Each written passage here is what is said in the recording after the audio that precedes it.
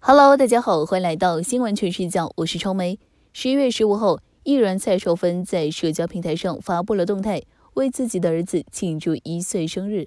他写道：“张玉旦先生你好，从未想过你会来到我们这个大家庭，有了你，每个人都说我这个妈妈好幸福，儿女双全。我只想说，你爸张晋最幸福才对，因为家中不止他一个男人了，有人陪他泡温泉、打游戏、打武术，他不再孤单了。爱你，爱你。”愿你快乐健康成长，妈妈上。为什么我想流眼泪呢？从照片当中，我们能够感受到蔡少芬对儿子浓浓的爱，因为她把儿子强吻成了表情包，网友们纷纷表达了祝福。同时发现，蔡少芬儿子的小名竟然叫鱼蛋。不过，此鱼蛋的确可爱，看上去味美 Q 弹。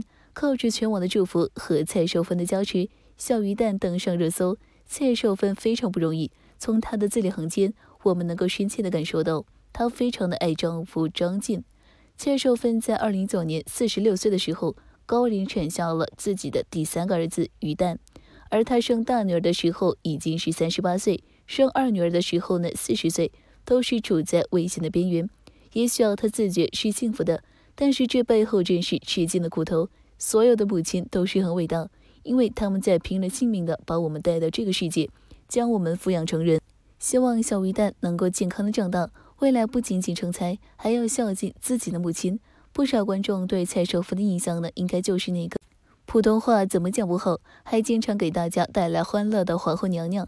但是在近日某综艺节目上，一向大大咧咧的蔡少芬难得面对镜头回忆往事，含泪诉说自己曾经很自卑，甚至骂自己是垃圾，觉得自己很没有用。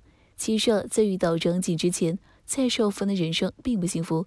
她出生在一个普通家庭，五岁的时候父母离异，父亲一走了之之后，原本就是个赌徒的母亲更加的堕落，很快便欠下了巨债。所以蔡少芬的童年啊，几乎都是在颠沛流离当中度过的。不一定哪一天啊，晚上刚睡安稳，就是因为债主找上门而被母亲拖着逃跑。为了活命，不得不东躲西藏。蔡少芬也是因此经常转学，从来都是没有知心朋友。蔡少芬在之后回忆这段往事时说：“我没有认识到有好的同学，就是要有真的同学喜欢自己了，一定要请他们吃饭，买礼物给他们。那时候钱也不多，但是自己不停的出钱，希望可以讨好人家。家里没有收入，蔡少芬的母亲啊，就是想着从女儿身上赚钱。蔡少芬的母亲见蔡少芬长相貌美，便是在蔡少芬十五岁的时候，让她参加 TVB 举办的超模大赛。”但是这场比赛，蔡少芬并没有得奖。蔡少芬是直到十七岁那年参加港姐的选举才一炮而红的，拿下季军。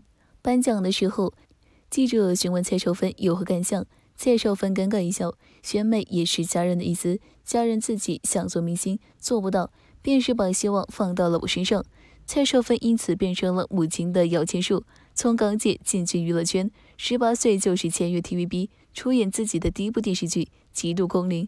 据说蔡少芬的母亲之所以逼迫未成年的女儿跻身娱乐圈，是因为想提高知名度而结识富豪替自己还债。为此，母亲和阿姨还经常接受蔡少芬和富豪吃饭喝茶。于是蔡少芬便很快的进入到了刘銮雄的利益名单。而其母亲和阿姨还曾经被曝在两人约会的酒店楼下挑选珠宝。在蔡少芬十八岁生日上。有一位神秘男士还豪掷千金为她在豪华酒店斥资百万举办派对。当时蔡少芬对媒体说，生日会的费用呢，全部都是由阿姨承担。但是事后阿姨确实对着媒体透露，这位男士就是刘銮雄。不过比起刘銮雄感情名单当中的李嘉欣、关之琳等女性争风吃醋，蔡少芬确实对这段往事尤为避忌。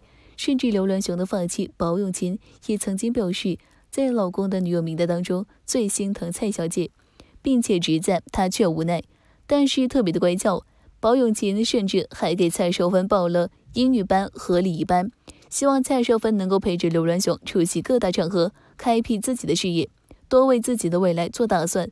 但是出道十年的，巨高片酬，再加上刘銮雄的撑腰，蔡少芬却依旧是无法填补母亲的赌债，而且祸不单行。蔡少芬的阿姨为了一己私欲，对媒体说蔡少芬是自愿被包养的。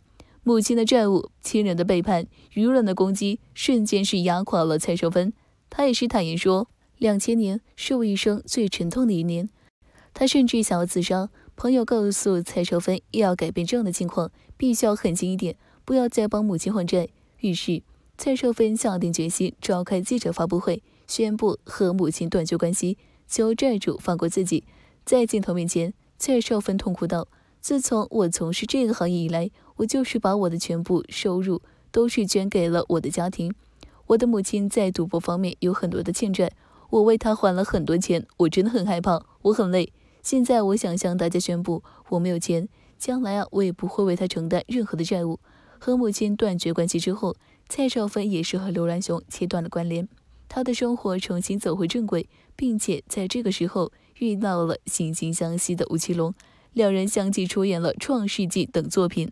或许是遭遇相同，蔡少芬和吴奇隆很快的就是走到一起。可是原本呢都是传出婚讯的金童玉女。却还是因为彼此的家庭压力而被迫分开。直到零三年，蔡少芬才找到了真正的归宿。她和张晋在拍摄《水月洞天》时相识，又因为张晋是剧组当中唯一一个会说粤语的人，两个人便是走得更加亲近。张晋刚开始追求蔡少芬的时候，蔡少芬是不敢接受的。她觉得自己并不是一个好女孩，怕张晋没有办法接受自己的过去，甚至啊，她还想过。把张晋介绍给自己的闺蜜蔡少芬是想等到张晋第四次表白的时候才答应的。两人恋情公开之后，外界并不看好，不断明里暗里的讥讽张晋吃软饭。因为蔡少芬呢已经是一个红极一时的女星，而张晋只是个名不见经传的武生。而且在相处当中，蔡少芬在生气的时候还会经常说一些狠话，要和张晋分手。但是就算是这样，张晋也一直对蔡少芬不离不弃。两人互相扶持，最终在零八年走进了婚姻殿堂，用行动证明了对彼此的真心。如今还有三个可爱的孩子。二零一四年，四十岁的张晋入围金像奖，斩获了最佳男配角奖。他举起奖杯，对着台下的观众说：“我要感谢我的太太蔡少芬。”有人说：“我这辈子都是要靠她。”没错，我这辈子的幸福就是要靠她了。某次，蔡少芬和张晋一同出席了活动时。恰逢刘銮雄和甘比结婚，接受记者采访时谈到了女儿，两人呢都是乐开了花。可是当记者问到蔡少芬有留意到刘銮雄先生再婚吗？蔡少芬顿时黑脸表态，到今天不回答这些问题。张晋也是转身大喝一声，化解尴尬。但是张晋对蔡少芬的过去一清二楚，但还是会很爱护和珍惜她。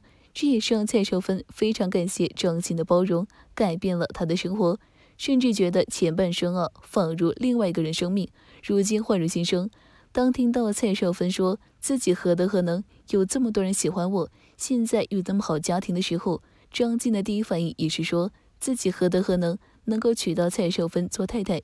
父亲节，蔡少芬也依旧是炫夫，公开表白张晋是最有能力的父亲，为这个家做牛做马，还晒出了张晋和三个孩子的合照。很多人都说。蔡少芬和张晋是女强男弱，两人的婚礼呢也是相比其他明星要简单的多。但是蔡少芬的炫夫狂魔的称号并不是作秀，张晋就像是他生活当中的阳光，是张晋让他拥有了另外的人生。